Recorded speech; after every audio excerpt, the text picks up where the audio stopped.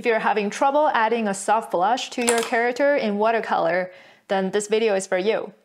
The technique we're going to use is wet-in-wet. I'll first explain the technique, show you how it's done in a painting, and share with you some tips. So after this video, with some practice, you'll be able to do it easily in your painting as well. If you're not familiar with the wet-in-wet technique, let me quickly show you.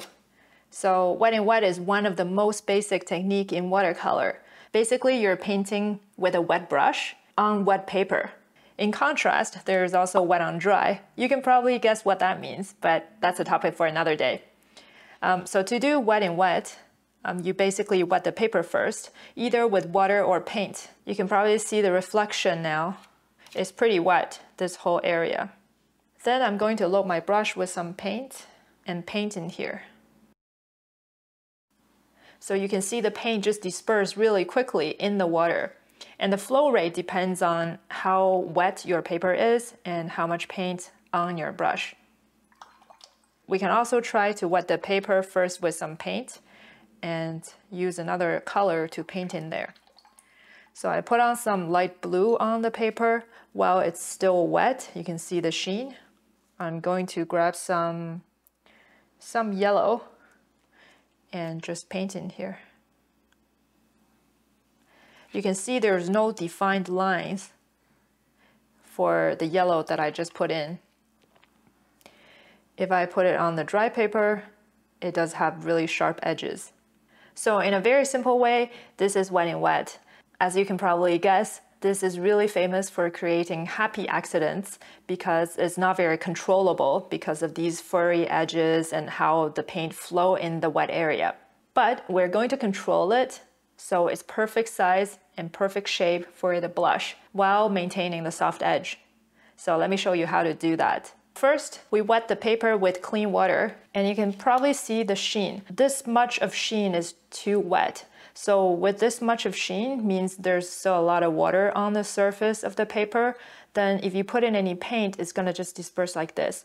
So we wanna observe and let the sheen go down a bit before we drop any paint in there. While I'm waiting for the sheen to go down a bit, I can go mix the blush color. For anime characters, usually my favorite color is some sort of coral or light pink.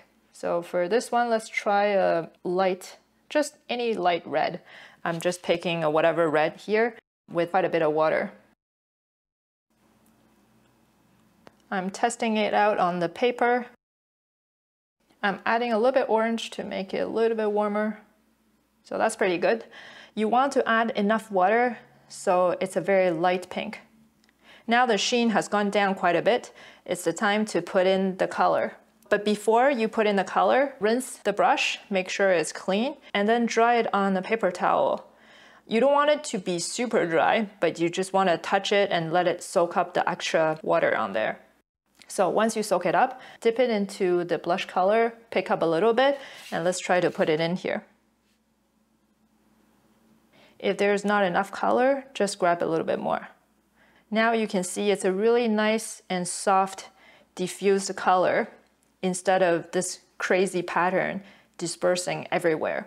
This color looks a little bit too light, so I'm going to mix it in a little bit more red to make it a little bit stronger. Test it out. It looks pretty strong here, but once it disperses in the water, it'll be lighter. And watercolor always dry lighter, so that should be a better color to use. But remember to dry your brush every time before you pick up the blush color.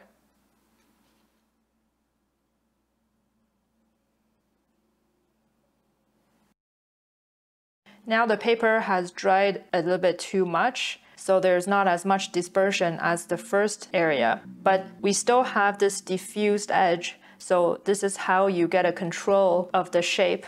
Now I've been talking too much, I think the paper is too dry. So let's try another area. So you can probably tell now if the water is dried too much, you're going to have a hard edge. But if you put it in fresh water like this, it's going to disperse too much. So what you're looking to do is basically find the right time to put in the blush color. Another thing I want to show you before we start the painting is how to create a combination of soft and hard edges in wet-in-wet. So let's say I wet this area. I'm going to draw an edge using this pencil. So basically somewhere here.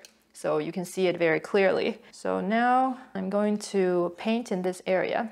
I'm using a stronger color so it's easier to see. So basically the paint is going to stop wherever there's no water.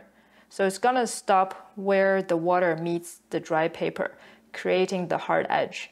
And then it's gonna flow towards wherever there is water. So if I paint at the edge of this box, I'm going to get a hard edge. And if I'm going to paint in the center of the box, I get soft edges all around. So how is this relevant to the blush? Um, for anime girls, we have a specific area that on the cheek that we want to apply the blush. So let me quickly draw a demo here. So let's say we have this happy character. The blush area we want to do is basically under her eye from here and then soft edge over here. So basically under the eye over here, we want to do a hard edge over here and then soft edge over here. So if we put on water in this area, my water is a bit pink. Let me get some clean water. So if we put on the water over here, we want to make sure the water stops at the bottom of her eye. So now this area is wet, I'm going to put in some blush color. When I put it in, I'm going to start from the top and then let it slightly run down a bit, creating the soft edge. And if you're not happy with the shape, rinse Yor brush and dry it on the paper towel.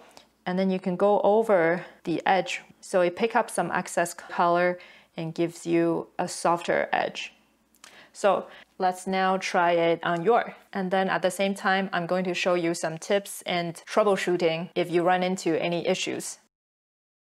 This painting is pretty much finished. The only thing missing is the blush. I picked Yor because she's one of the perfect character for blushing. And if you Google, there's tons of pictures of her blushing in different expressions. So I got a reference photo here for us to look at. Process-wise, the easiest way to add blush is to finish painting the skin first, let it dry, then add blush color on top. Then after you add the blush, you can let it dry and finish off the rest of the painting. I finished the whole painting because it's easier to see in the video. But if you're worried about having the blush touching the darker area, like the hair, um, so the color run into each other and dirty the blush, then you should totally leave the hair, leave the darker color to a later stage because um, in watercolor, to keep the painting clean, usually the general rule of thumb is to go from lightest color to darkest color. But for today, I painted the line art using India ink, so it won't be reactivated by water. Wow, that's one of the tips you can do so that your painting doesn't get dirty. So following the practice we did before, first I'm wetting my brush with clean water and I'm going to wet the area under her eyes. So I'm being very careful not to get any water into the white area of her eyes. So from the reference photo, we can see the blush is somewhere around here, right under the eye. It goes a little bit towards this side and this side, but not too much. But the area we want to wet is bigger than that. So we have some room for the soft edge to form. So I wet this whole area. It doesn't matter if you wet too much, uh, too big of an area, but it would be a problem if you do too small of an area because the hard edge will form in that small circle. Now the sheen has gone down a bit. I cleaned my brush and dried it on a paper towel. And I picked up a little bit of the blush color. First test it out. Looks about right. And then I'm going to drop it in. Starting from the top.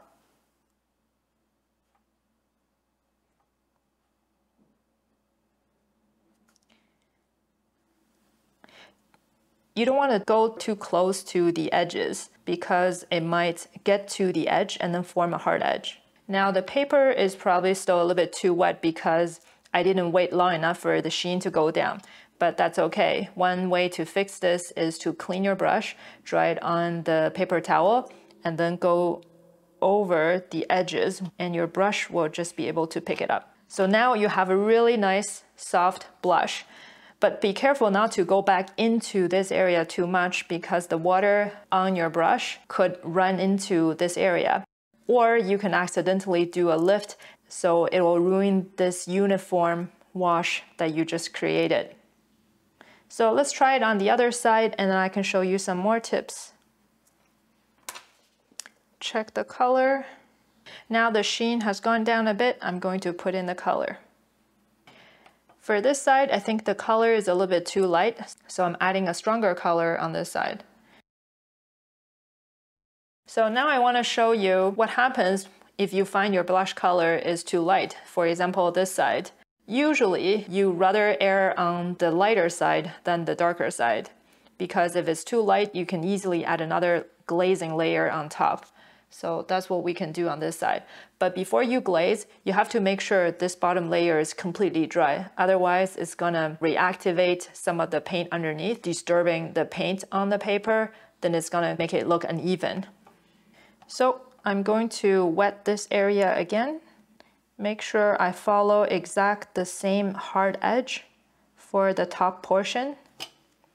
And then dry my brush a bit, pick up some blush color, and then drop it in. Usually the blush color is the strongest close to the bottom of the eye. It's very gradual. The difference is not very noticeable, but if there is a graduation, the top color should be darker. Also, I noticed on this side, the blush area is much bigger, so I want to make this side a little bigger to match. So this is where when I can fix it as well. When you're more familiar with this technique, you can do both sides at the same time. Then that's probably the most easy way to make it even and symmetrical. Soften the edges a little bit with a clean, damp brush.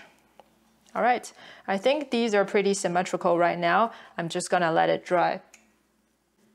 Now both sides has dried. I think it's pretty symmetrical and pretty even. Now I have one last tip for you. Depends on what kind of art style you're looking for. If you want the more two-dimensional anime illustration or manga kind of style, you could totally add those blush lines. But I wouldn't recommend using black because it looks kind of jarring because the watercolor naturally has a softer look. So I would use a red color that is a little bit stronger than the blush. So if you're using a certain red to mix with water to make a blush color, just pick up this red and mix it with a little bit less water to make a stronger version of it and use that to add the blush lines. So let's try it out. So this was the red I used. I'm gonna put a little bit here. I also added a little bit of orange in there to make it a little bit warmer. And then I'm gonna add just a little bit water to make a stronger version. Also, we're just drawing the lines on the dry area, so this area is all dry. The color will be stronger than painting in wet area. So let's try it out. So on this little face, it'll be something like this. Just a few lines like this. So for this brush stroke to work, you probably want to use a really tapered brush like this. So this brush has a, just only a few hair at the tip, so I can draw really, really thin lines. You wouldn't want something like this because it doesn't have a really fine tip and your line will be way too thick for the blush line. Okay, so let me add the lines.